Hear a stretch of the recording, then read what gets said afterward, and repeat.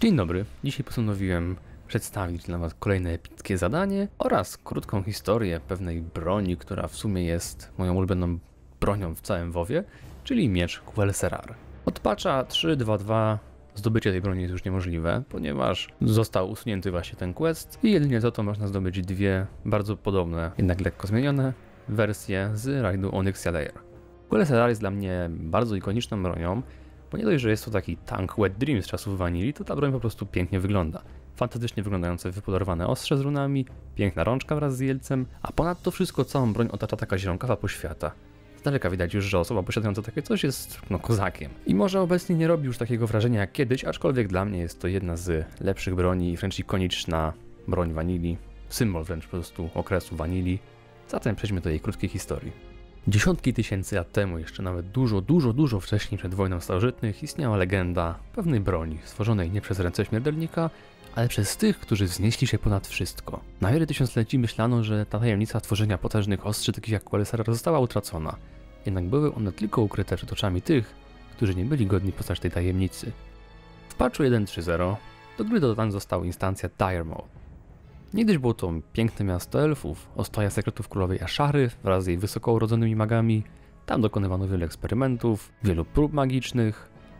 Jednak po rozerwaniu studni wieczności miasto obróciło się w ruinę i obecnie jest okupowane przez ogry oraz satyry i wspomnienia przeszłości w postaci błądzących tu i ówdzie duchów czy spaczonych drzewców.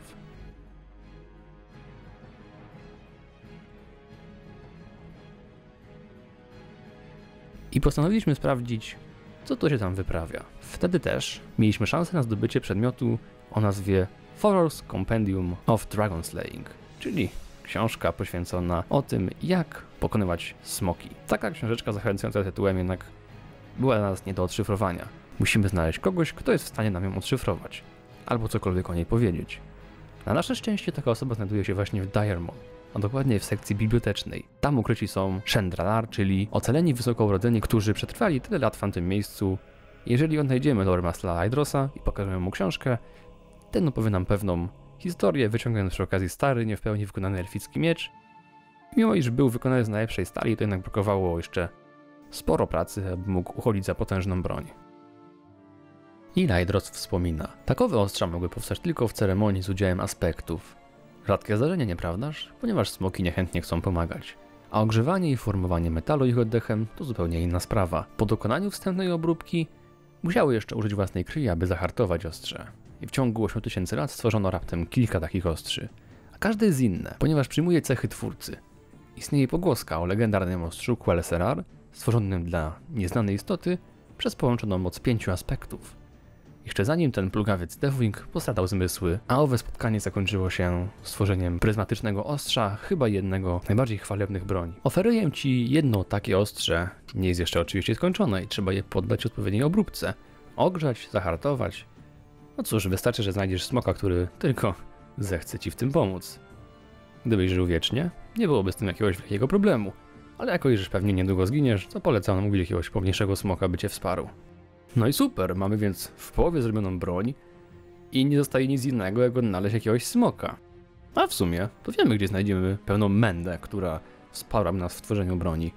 No oczywiście niedobrowolnie. Więc quest odnośnie stworzenia swojego ostrza prowadzi nas z Dire Mall wprost do paszczy Onyxi, ponieważ to o niej wspomniałem, gdyż ta na rajdzie właśnie jesteśmy tylko w stanie pociągnąć to zadanie jeszcze dalej gdy wraz z 39 innymi śmiałkami musimy powalić tę bestię. A podczas samej walki należy w pewnym momencie wbić miecz w ziemię, tak żeby Onyxia mogła splunąć na niego ogniem.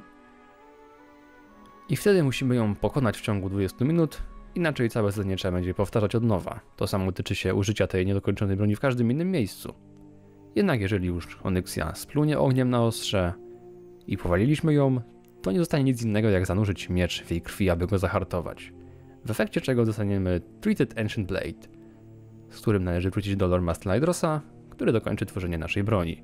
Wspaniałe ostrze Quelserar to było coś, nie była to legendarna broń taka jak Sulfuras czy Did Someone Said, aczkolwiek książka z zadaniem leciała tak rzadko, że widok kogoś z takim mieczem na samym początku budził wielki szacunek. Zwłaszcza, że ten miecz mogli używać tylko paladyni oraz wojownicy.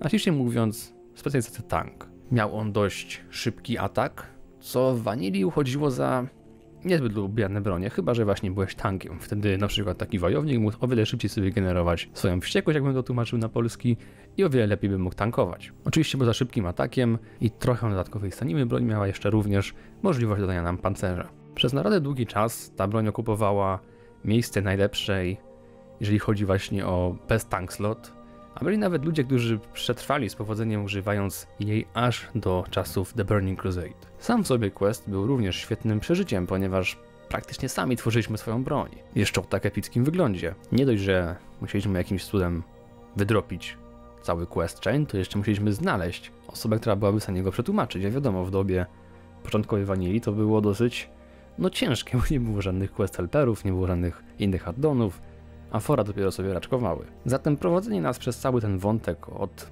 skromnego przetłumaczenia tej książki, wytłumaczenia nam co i jak, poprzez wysłanie nas do Onyxi, powalenie tego smoka wraz z 39 innymi osobami, co było już czymś nie lada epickim i powrót właśnie do Dire Maul, żeby móc zdobyć tą świetną broń, która właśnie z powodzeniem mogła sobie przetrwać aż do czasów The Burning Crusade. Gdy ktoś się mnie pyta, jaka broń najbardziej kojarzy mi się z WoWem, to no właśnie w pierwszej kolejności odpowiadam że jest to Quelserar. Nie wiem, czemu akurat tak mi się zapamiętał, mimo iż w Vanille grałem dość mało. A sam zdobyłem tą broń dopiero właśnie w dodatku Wrath Lich King, gdzie mogliśmy jej inne tam lekko zmienione wersje zdobyć też właśnie na Onyxi. W drugim też dodatku do WoWa dodano bliźniacze ostrze Queldelar, które również przedstawię w innym filmie. No a w sumie to z Dire Maul się jeszcze nie będziemy żegnać, ponieważ tu się będzie działo jeszcze jedno bardzo ciekawe zadanie, ale to wkrótce.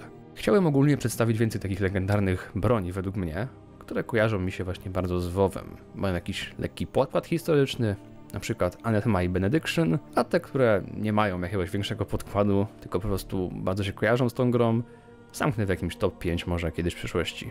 A póki co, dziękuję za wysłuchanie tej historii i do usłyszenia w kolejnych filmach. Cześć!